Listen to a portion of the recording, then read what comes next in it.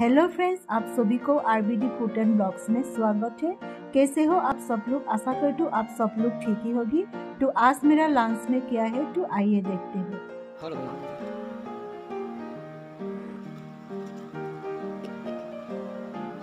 हैं